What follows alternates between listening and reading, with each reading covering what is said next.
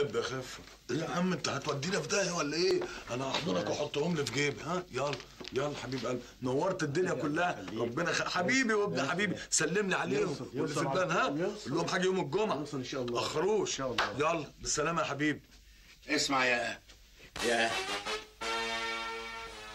هو أنت؟ يا ساعة البيت. إيه ده؟ امرني أنت طلعت قبلية هنا إزاي؟ أنا طلعت بالأسانسير يا بيه بالأسانسير؟ أنت مش قايل إنه عطلان؟ ده بالنسبة للجمهور إنما بالنسبة للموظفين شغال. آه ما شاء الله ما شاء الله. أصلهم هنا يا بيه ناس مفتريين ما بيقدروش المسؤولية بيبوظوه. عشان كده الباشمهندس جلال قرر إن الأسانسير يقتصر على الموظفين بس. لكن قول لي بيه انت بان عليك ابن حلال مع إن شكلك مبهدل.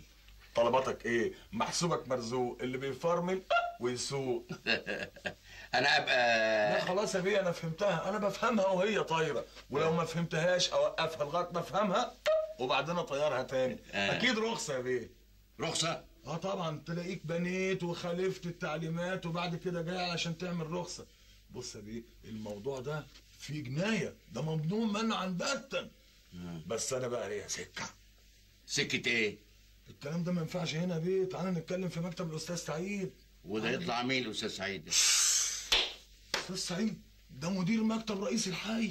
آه وهو اللي هيتفاهم معايا يعني؟ التفاهم بقى يبقى معانا يا باشا. محسوبك مرزوق اللي بيفرمل ويسوق. يلا يا بيه يلا ما تحطناش. تبين عليك. وباين على الحي كله أسرار.